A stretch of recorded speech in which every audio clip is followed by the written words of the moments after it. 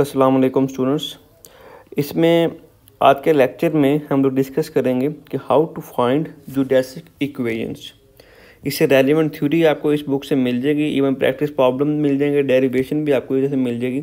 Relativity डिमिस्टिफाइड की book है chapter number four page number eighty one two eighty five के between ये geodesic equation वाला टॉपिक कवर हुआ हुआ है तो पहले मैं थोड़ा सा क्विक सा रिव्यू दे देता हूँ. कि जूडेसिक्स क्या होते हैं कि basically these are the shortest distance कि लाइक अगर एक हमारे पास एक स्पेस में एक पॉइंट ए है और एक पॉइंट बी है तो ए पॉइंट से बी पॉइंट तक जाने के लिए हमारे पास यहाँ पे सो मैनी वेज होंगे।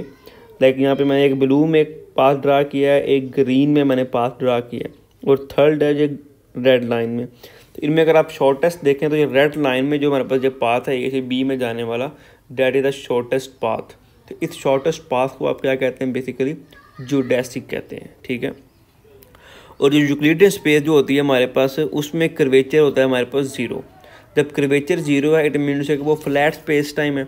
अगर flat space time it means there is there is not any kind of bending over there जब बैंडिंग नहीं है तो वहाँ वो हमारे पास लाइक इस तरह से एक्स वाई प्लेन की फॉर्म में, इस तरह से थ्री डिमेंशन में अगर आप ड्रा कर लें तो एक फ्लैट स्पेस हमारे पास ड्रा होती है यूक्लिडियन जो है. तो उसमें यूक्लिडियन स्पेस टाइम में हमेशा जो शॉर्टेस्ट डिस्टेंस होते हैं, वो आपको हमेशा लाइन्स ही मिलते हैं। और लाइन में हमें, हमेशा एक यूनिक मिलती है जो डेस्टिक्स जो होते हैं, वो हमारे पास यूनिक होते हैं, क्योंकि एक ही ऐसी लाइन ड्रा हो सकती है ए से बी के दरमियान जो शॉर्टेस्ट होगी। उसके अलावा जो कर्व पास होंगे, लेकिन वो शॉर्टेस्ट नहीं होंगे।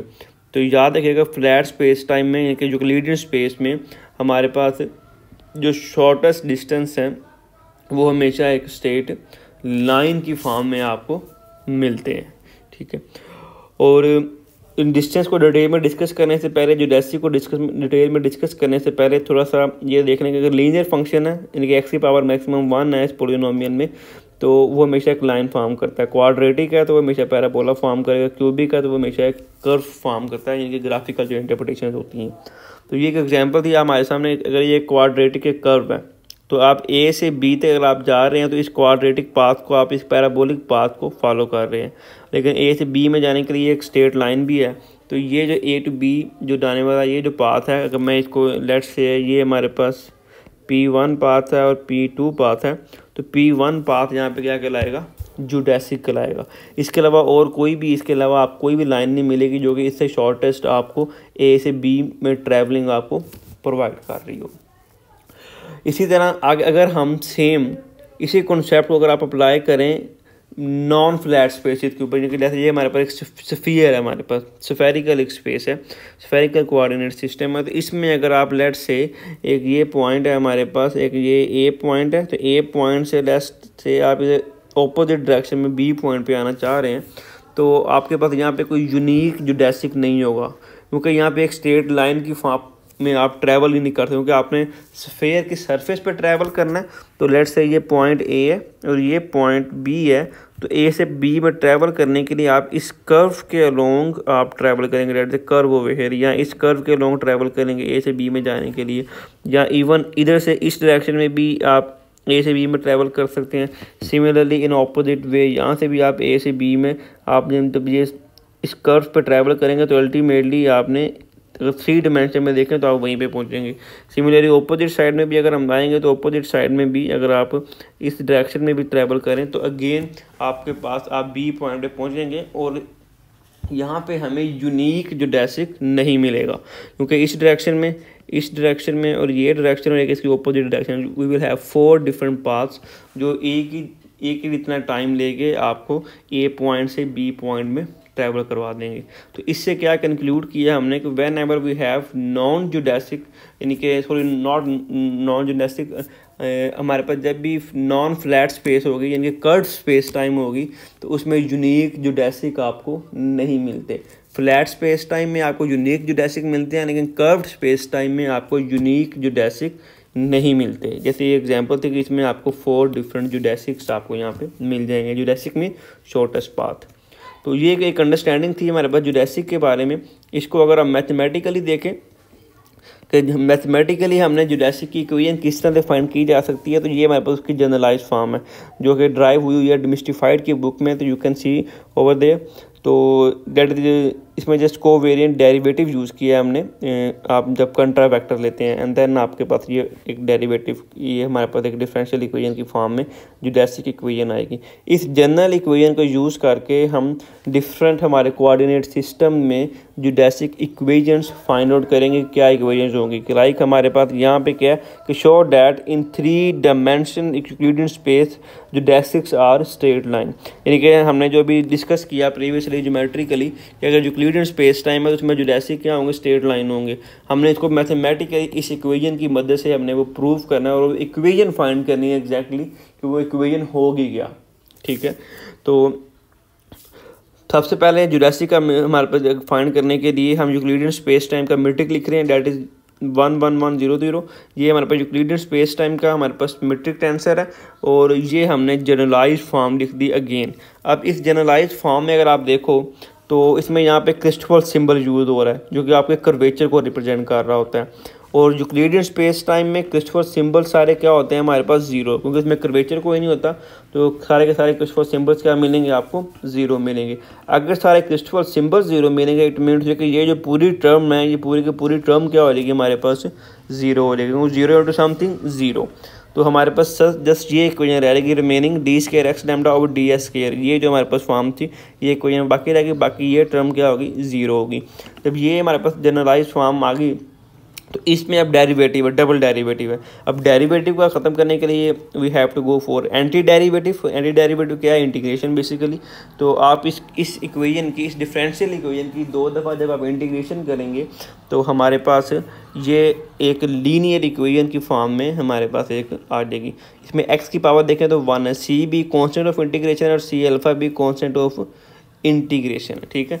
जब फ़र्स्ट टाइम इंटीग्रेशन करेंगे तो सी अल्फ़ा मिलेगा, जब सेकंड टाइम इंटीग्रेशन करेंगे तो we will get C beta over here at the constant of integration अब ये जो इक्वेजन हमें मिली, ये एक्स की पावर क्या वन है लीनियर है। और लीनियर इक्वेजन आपको क्या बता रही होती है कि जो जो डेसिक बनेगा that would be a straight line तो इस इक्वेजन से हमने ये चीज़ प्रूव कर दी कि हमारे पास यूक्लिडियन स्पेस टाइम में जो डेसिक एक तो यूनिक आ रहा है और दूसरे नंबर पे वो क्या फॉर्म हो रहा है? एक स्टेट लाइन फॉर्म हो रही है, ठीक है?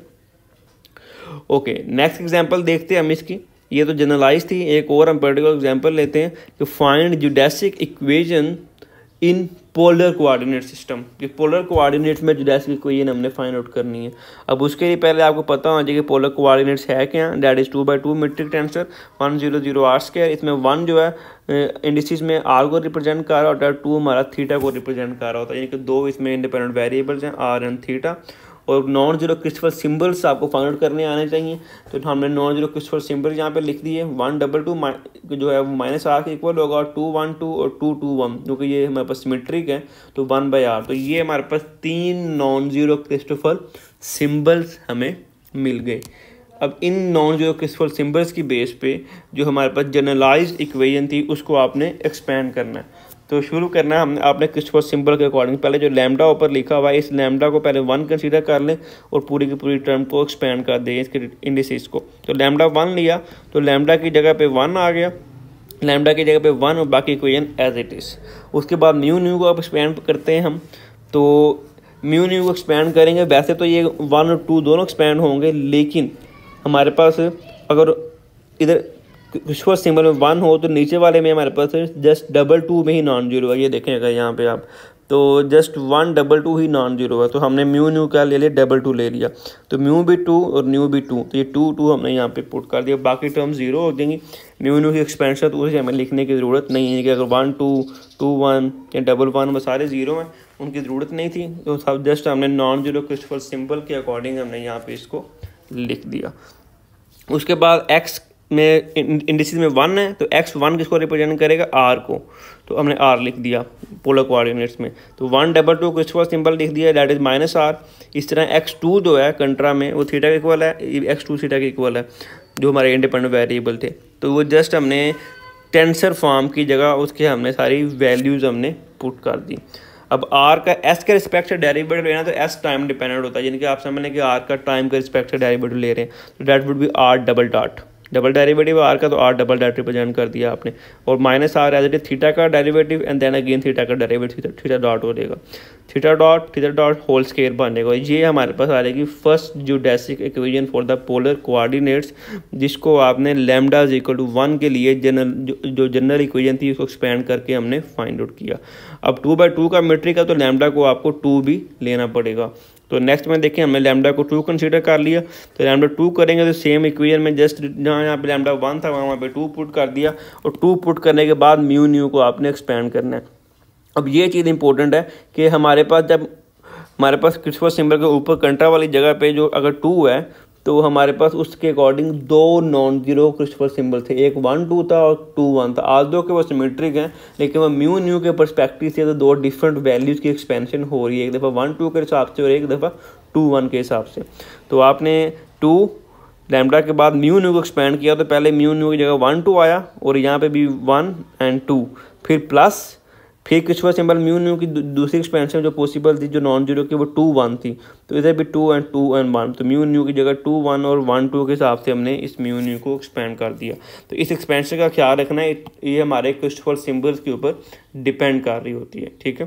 तो आगे फिर straightforward D square X X X two था थीटा आ गया।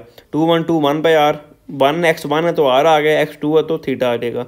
अगेन एक्स टू जगह थीटा और एक्स वन की जगह आर बाकी सब के आपने क्या ले लिया अब? डेरिवेटिव की फॉर्म में लिख दिया। डबल डेरिवेटिव थीटा का पर थीटा डबल डॉट आ गया। आर का डेरिवेटिव थीटा का derivative R dot theta dot theta dot and R dot ये दोनों सेम टर्म्स थी तो वो टू टाइम्स होगी and that would be equal to zero तो ये हमारे पास दूसरी जो डेसिक इक्वेशन आ गई हमारे पास पोलर कोऑर्डिनेट्स की।